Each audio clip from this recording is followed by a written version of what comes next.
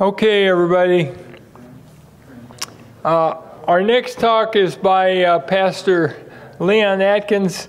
We've known each other since 1981 82 when I was teaching Lay Institute classes at Dallas Seminary, the Doctrine of Salvation and the Book of Galatians, and Leon took both courses. Back then, he was a sign painter. Going up on the freeways and the big billboards, he would hand paint the signs. And uh, later, he became the pastor at Berean Memorial Church, which is a, a historic Free Grace church in the Metroplex in Irving, Texas. And so, what's your title today? It's on uh, John 6 37. 37. So, let's give him a warm welcome.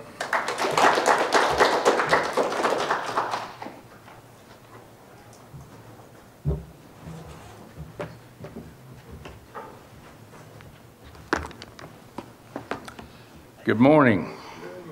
Shall we begin with prayer? Our Father, we come to you with deep gratitude. We're very thankful for GES. It's, uh, it's great to have a remnant of people who believe in grace alone through faith alone. And it's very refreshing to have fellowship one with another. So we want to thank you for this opportunity. And we know that we may have many instructors in your word, but there's only one teacher who is God the Holy Spirit. And so we pray that we will be very sensitive and very positive to his teaching ministry today. And we pray that all that we do today and all even that we think and we say will be well pleasing to you and edifying for one another. In Jesus' name, amen. Well, I uh, am very grateful for Bob's introduction. Uh, Bob and I, as he said it, we've known each other since the early 80s. And uh, I am extremely thankful for Bob and GES. And I'm thankful for my spiritual heritage. I wandered in off the street uh, in 1972 to a little place called Berean Memorial Church. And I didn't know anything about doctrine. Well, I, I, shouldn't say I didn't know anything. I knew that I was saved, and I knew that I was saved by grace alone, through faith alone, and I believed in eternal security. And other than that, I had literally been brought up in the church. My dad was a Southern Baptist pastor, and um, I'd read the Bible. I did uh, daily Bible readings like good Baptists do. But somehow, uh, with all the confusion about giving your life to Christ, um, turning your life over to Christ, inviting Jesus into your heart, all that stuff, somehow I had missed the doctrine of salvation by grace alone through faith alone. But at some point, I discovered it. And when I came back to Dallas, I was born in Dallas. My a family moved to Oklahoma to a little town of 500, and I went from uh, going to a high school where there were several thousand kids enrolled, uh, North Dallas High School, to this little high school in Oklahoma. There were 13 in my graduating class. but I really liked it, and I liked Oklahoma so much I stayed there about 10 years, and uh, then I returned to Dallas. And when I came back to Dallas for a job opportunity, I noticed something really remarkable. It seemed like some of you may remember this, others are, are so young you won't, but it seemed like everywhere I went in Dallas, I would see a big trailer parked without the truck, just the trailer, or a big billboard that would say, Thanks, Dallas, or Thanks, everyone, for helping OL NIMS make another million. And it seemed like everywhere I went, I would see those. And uh, I learned that O.L. Nims was a millionaire. Back then, that was really a big deal. Nowadays, you have to be a billionaire or a trillionaire for it to be a big deal. But back then, being a millionaire was a big deal. And he made most of his money. He owned several nightclubs. And uh, visiting dignitaries to Dallas, he would try to uh, make arrangements to have his picture taken with them and uh, he was always uh, very money oriented. And then, now, all this that I've told you is true. This other part may be true and it may not, may be one of those urban legends that somebody invented and it's gone on, but it's too good a story not to tell. Okay, in 1973, O.L. Nims died. And the story is that he had this brand new Cadillac convertible that he was really proud of. And he wanted to be buried behind the wheel of that convertible. So they took out uh, the big uh, equipment, heavy equipment, and they dug a grave big enough to uh, put a Cadillac convertible in. And as he was being lowered into the grave, top down on the Cadillac, it propped up in the driver's seat of that brand new Cadillac, a couple of the grave diggers were watching, and one of them said to the other, Man, just look at that brand new Cadillac. Wow, that's really living. so that tells us something about a popular worldview in those days that if you had lots of money, if you were successful, quote, successful, then you had a life. That was real life, which is just the opposite to what the Word of God teaches us. So, what we call it today is postmodernism. Now, uh, I'm not real organized on this, and I'll tell you why. We stayed in a hotel that advertised free Wi Fi, and you get what you pay for. And it was free, and it was very. Uh, I, I, was in one of Bob's classes yesterday morning, and I kept disappearing and coming back because of the internet. So we have at our church, a church provides for us. Um, Windows 365. And man, it is great. Uh, you don't have to save anything, it saves it automatically and all that kind of stuff. And as long as you have internet, it works great. But uh, I worked on this again yesterday and last night, and I tried to save it, and it wouldn't save it. It kept telling me this file does not exist, and I thought, well, this is strange. I thought I had, had been sitting here working on it for a couple of hours, but they say it doesn't exist. So I wasn't going to start out with postmodernism. I was going to say that nowadays this type of worldview is called postmodernism. But uh, back then, I remember when I was uh, growing up, back in the 50s, it was called modernism.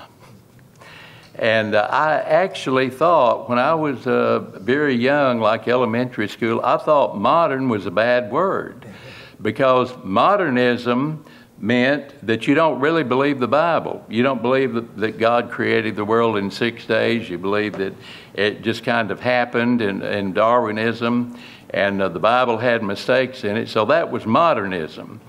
And um, then that was replaced. Um, I remember uh, back when I was a teenager and uh, freshman, uh, sophomore in college, it was called existentialism. And what that meant was, the best I could figure out, you know, these things are really hard to nail down and to define because they're so fuzzy and so many different definitions. But uh, existentialism was something like the only thing we know for sure is that we exist. And um, if you find something that gives your life meaning and purpose, then grab it and live it and that makes you an authentic person. Otherwise, you're not an authentic person. So, if, if Christianity, if that meets your need, then grab it and go for it and live by it. If, the, if it doesn't, then hey, try Buddhism or atheism or something that'll give your life meaning and purpose. That was what we used to call existentialism. And then it got to be called um, secular humanism back in the 80s. You might remember secular humanism. And all of these things basically had the same philosophy. Nowadays it's called postmodernism. And uh, Solomon said there's nothing new under the sun. We just change the name every few years. Uh, but they're all basically the same. And uh, what postmodernism says is that absolute truth does not exist. And they're absolutely certain about that. uh, and then um, I uh, was invited to a pastor's conference at Dallas Theological Seminary. And, you know, there was a time, boy, I thought those guys at Dallas Theological Seminary, some of them probably had wings because they were perfect. I mean, they had their doctrine down. Well, that was a myth. It wasn't completely true, but almost back in the 50s, 60s, and even uh, the early 70s. But uh, when, when I got to Dallas Seminary, I was shocked by some of the things I heard. And I was very grateful for my heritage that uh, Dr. John E. Danish was a graduate of Dallas Theological Seminary and had sat under the teaching of Lewis Sperry Chafer personally, and he had his doctrine right. And that was when I that was why when I wandered into that church and I heard what I heard, I kept coming back. Because as I say, I didn't know much, but I knew that I was saved. I knew I was saved by grace, and I knew that once I was saved, I could never be unsaved. And I heard Dr. Danish in the early days that I was attending that church say that, and I thought, well, I'm just going to stay here. But uh, Dr. Doctrine was number one at Berean Memorial Church.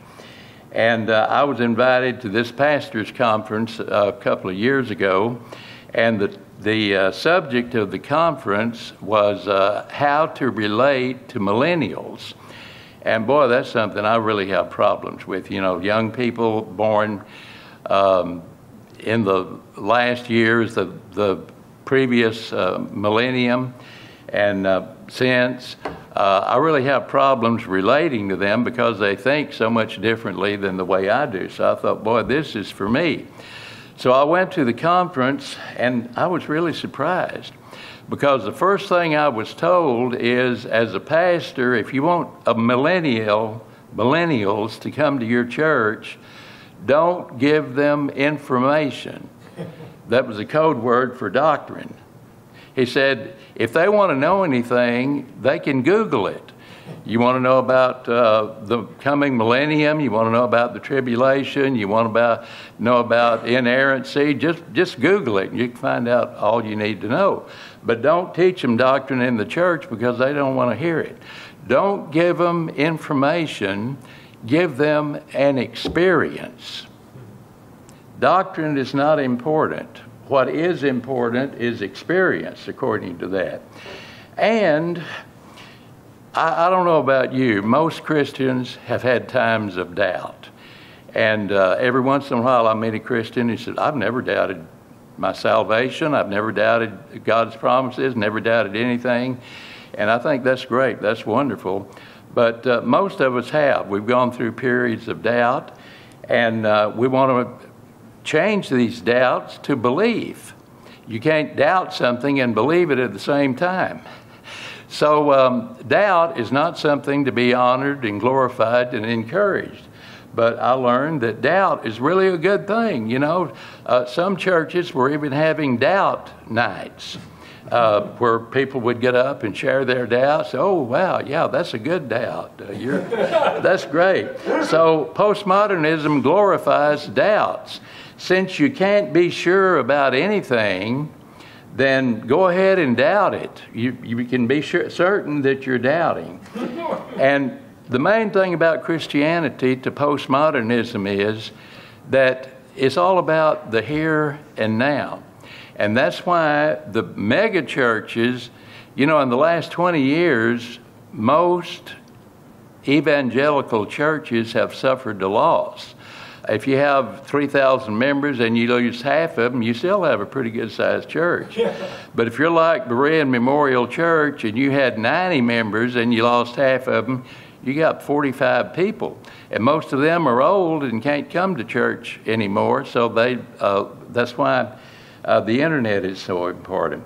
But if you want to really build a church and attract people, teach health and wealth gospel. I mean, God wants you to be happy. He doesn't want you to have any problems. You know, if you're if you're sick, you have any kind of health problems or anything because you don't believe hard enough, and you're not a good Christian. So come give us some money, and we'll take we'll teach you how to be prosperous. And the more money you give us, uh, the more money God will give you. I'll tell you what, that works for the preacher because they're driving around in their Rolls Royces and all that stuff, but it doesn't work for the poor lady on Social Security who's giving more and more of her income.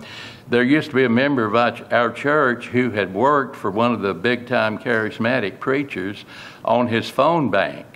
And he was told when somebody calls and says, Look, I've been giving money over and over and I haven't gotten anything in return. What's going on? Tell them they're not giving enough money. Step out on faith and give more. And the more you give, the more God will give you. So that's the way so many people, this is in the worldview now that is popular. Uh, Christianity is about the here and now. And if you can go to a church and leave with a good feeling so that you can face the world on Monday morning, well, it's a good church. Go there. Uh, it's all about the here and now. And um, all of this stuff is, um, like I say, it's, it's not new. There is nothing new under the sun. And Paul, the Apostle Paul saw this. It was called by a different name then, but it was, uh, he said in Romans 1.28, even as they did not like to retain God in their knowledge, God gave them over to a reprobate mind. And uh, the reason is they didn't like to retain God in their knowledge. There was no place in their worldview for God. So they just kicked God out and said, find meaning. If it feels good, do it, and so on. And God says, okay, if you don't want me in your worldview, then you, you can have the worldview that you have. And Paul went on to say that this was a cover for sin. You know, kid goes to college and. Uh, all the things he's been taught at home. You know, you don't do this, you don't do that. And uh, he goes to a party and somebody offers him a reefer and he smokes a reefer. And uh, then he meets a girl and uh, they commit sexual sin. And he wakes up the next morning and the sun's shining and he said, Wow, what I've been taught at home is not true. Here I'm still living, I feel good and uh, I've broken all those rules that I've been told not to. And uh, to go back to the Christian worldview of, of no unrighteousness, no fornication, and all those things that uh, the Bible says would mean that I have to give up all these things that I'm really enjoying. So, this is a, a cover, a smoke screen for uh, sin and unrighteousness. And incidentally, I know these scriptures look uh, strange to some of you. This I use the King James version. I'm not a King James only freak, but uh, it's what I was brought up on. And I love the King James Version. Um, I remember back in my 20s, I just couldn't wait for a new translation to come out and uh, I, I, would read the newest one for a year, but I always went back to the King James. So I like the King James. And uh, when I first became pastor of the church at uh, Berean Memorial Church, uh, I thought most of the members of the congregation used the NASB. And uh, I thought, well, I will use the King James for my own personal study, and then I'll preach from the NASB.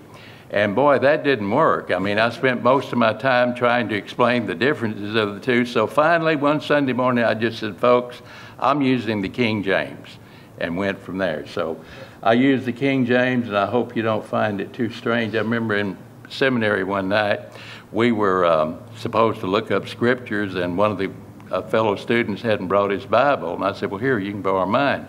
He opened it up, started reading, and said, What kind of translation is this? anyway, if you were thinking that same thing, it's King James. Okay. Uh, okay. Uh, Zane Hodges, and incidentally, my pastor, Dr. Danish, used to quote J- Zane Hodges frequently, and his favorite term for Zane Hodge, Hodges was, he is a gem of a theologian. G E M, a gem of a theologian. I don't know if he knew Zane personally or not, but he uh, bragged on Zane frequently. And uh, Zane Hodges was aware of postmodernism. He wrote a couple of articles back in the early days of uh, the GES magazine. And uh, one of the things he wrote about postmodernism is that uh, if someone tells you that I know there is no such thing as absolute truth, just ask them, are you absolutely sure of that? because they say you can't be certain about anything, except, of course, that biblical Christianity is not true. so, uh, and it's considered a mark of humility to say, well, you can't know anything for certain. Uh, that's really humble because all these facts in the world, I can't grab one and say, I really know that this is true. That's arrogance, if, if you can say that. So uh, they do admit, I may be wrong about this. Uh, you can't be sure about anything. And yes, I may be wrong about this. And uh, I, I, love um, Lewis Sperry Chafer once said, if somebody, if you're arguing with someone about something, and uh, they, they're very adamant about it, just say, is it possible that you could be wrong? Now, if they say, no, it's not possible, I'm absolutely right, uh, then there's no use in continuing the conversation. But most people will have enough humility, either pseudo humility or genuine humility, to say, uh, yes, I, I, could be wrong about that. The next question is uh, if you are wrong, would you want someone to correct you?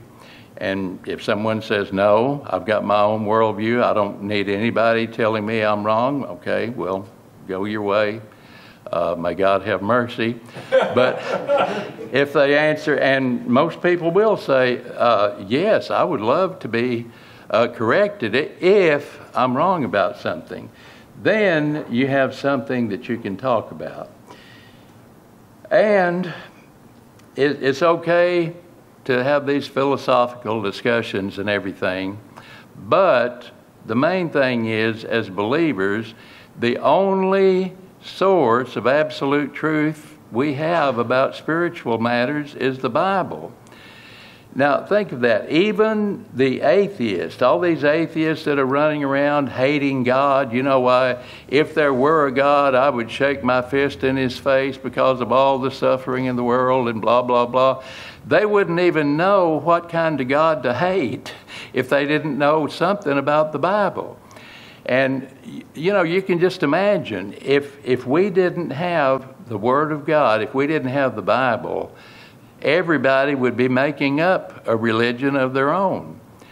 And the word God would be meaningless because we wouldn't know what a God was even supposed to be. So we stick with the Word of God because all Scripture is given by inspiration of God and is profitable for doctrine, for reproof, for correction, for instruction in righteousness. And then, as Paul again wrote to this young pastor, uh, Timothy, 2 Timothy 1.13, hold fast the form of sound words which thou hast heard from me.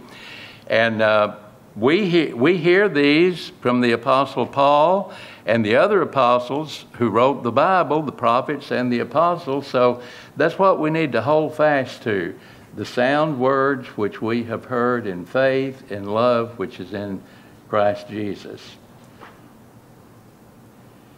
Now, here we are at John 6 37, and that was what, uh, this is what our text is. And I don't know how I'm running here. Is there somebody that'll give me a clue every once in a while? Okay, about 15 more minutes. Okay, John 6 37. All that the Father giveth me shall come to me, and him that cometh to me I will in no wise cast out. This is a very special verse for me because as a young Christian, all I knew was that I was saved and it was all by grace and it was for eternity. And uh, I had some doubts. You know, every once in a while I would think, well, how do I know I'm really saved? How, how do I know the Bible is even true? And one day I was thinking about these th- thoughts, and um, I had a, I, I like to call it an epiphany. You know, when you get a sudden flash of insight. And this epiphany was Jesus said somewhere in the Bible, I know I've heard that Jesus said, Him that comes to me, I will in no wise cast out. And that means I came to Christ. I came to Him in faith and put my faith in Him for eternal life. And therefore, now this sounds almost blasphemous. I thought, if I'm not saved, God's a liar.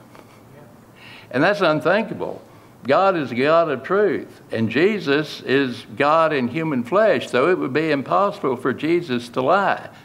And so I thought, wow, God is not a liar, so there's no way I could ever, under any circumstances, be unsaved. Now, it's always good when you talk about a, a passage to take it in context, so we'll just go over John 5, uh, the previous chapter, quickly. Uh, Jesus healed the man at the pool of Bethesda, and you would think people would say, Praise the Lord, hallelujah. Isn't that a great uh, thing for this man to do? But instead, they decided they'd kill him for it because he did it on the Sabbath. And uh, then Jesus made an important announcement that God the Father had committed all judgment to his Son, who was Jesus. And then John 5 ends with a reference, with Jesus making a reference to Moses. He said, um, I shouldn't expect y'all to believe in me. You don't even believe in the writings of Moses. And Moses wrote about me. If you believed Moses, you would believe me. And boy, Moses did write about Jesus. Um, a few years ago, I decided around Christmas time to do a special sermon on uh, Christ in the Old Testament. And so I went through a few, prophecies about Jesus. Next year, I thought I would repeat it, but uh, I couldn't get it all in one sermon. I had to make a couple of sermons. And every year, it just gets longer and longer and longer because I just keep seeing, keep finding references. And I appreciate Philippe's uh, presentation last night of some of the appearances of the Savior in the Old Testament. And if you were impressed by that, I was too, but there are many more, and we just keep discovering them. Okay, John 6, he started out uh, teaching and uh, fed a multitude of about 5,000 men. And if most of those men were married and brought their wives, that would double that number. And some of them brought uh, three or four or five kids. So we're talking about a whole lot of people, a big crowd of people. And uh, they thought, man, this is great. We got a free meal. and uh, this is wonderful. Let's just follow this man around, and he's obviously the Messiah, and he'll take over the government, and he'll put us all on a free meal program. so they decided, uh, Jesus said, No, no, it's not time for that. We're not going to do that. Let's talk about other things. And they were going to kidnap him and force him to uh, be king so he just told his disciples, okay, you fellows get on this boat, go over to the other side, and I'm going to go up on a mountain and spend some time with my father, and I'll see y'all later. And that was when uh, Jesus walked on water, and then Peter walked on water. And when they, they got to shore, there was a big crowd waiting for him to get there. And they were interested in two things. And it wasn't, Lord, tell, teach us more about eternal life. It was, first of all, they wanted to uh, Master, how did you get here? Uh, they knew he hadn't come over uh, with it, hadn't gotten on the boat with his disciples, and there he was on the shore, so that was a big thing. And they were also interested in bread. That was a good meal, and it didn't cost us anything. So uh, let's talk about bread. What, what time is lunch going to be today? and so Jesus took advantage of that and he talks about bread. He says, I am the living bread. Um, John 6 28. I, I love this. They said, What do we have to do to be saved? What do we have to do to do the works of God? And Jesus answered, so plain, Jesus answered and said unto them, This is the work of God, that ye believe on him whom he has sent. You want to do something for the Lord? Then start out by believing him. Verse 35 And Jesus said unto them, I am the bread of life. He that comes to me shall never hunger, and he that believes on me shall never thirst man, that is satisfying. That the receiving eternal life is satisfying not only for time but for all of eternity. And then John 6 37, all that the Father gives me will come to me, and him that comes to me I will in no wise cast out. Okay, God the Father, in his omniscience, knows who's going to be saved, who's going to believe. And so he takes all these people who believe in Christ, who will believe in Christ, and he gives them to his son as a gift. And uh, that's another thing that makes us precious to the Lord Jesus. We are his prized possessions, a gift from his Father. So they will come to him, they will believe in him, and under no circumstances will he ever cast them out. Um, I love the way uh, my former pastor, now with the Lord, Dr. John Danish, used to uh, phrase it. He used to say, If you've placed your faith in Christ for eternal life, you're going to heaven. Even if you decide you don't want to go to heaven, God will take you to heaven if He has to pull you in with you kicking and screaming. it's something that is totally irreversible. Verse 40 and this is the will of him that sent me, that everyone which sees the Son and believes on him may have everlasting life, and I will raise him up at the last day. Uh, everyone that sees the Son. So, does that just mean the people who were living then who could actually see Jesus? No, it means us. We, we say when somebody explains something, something we don't understand, and they explain it to us, we say, Oh, I see. So when you see Jesus, that means understanding who and what he is the eternally pre existent Son of God. Whoever sees the Son, and once you see him for what he is, you put your faith in him for what he says and what he promises is eternal life to those who believe in him for it. And he that believeth on him may have everlasting life.